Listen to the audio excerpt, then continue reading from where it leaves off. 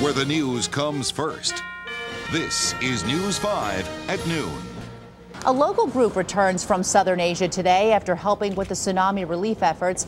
This is video of the group just before they left our international airport on January 3rd.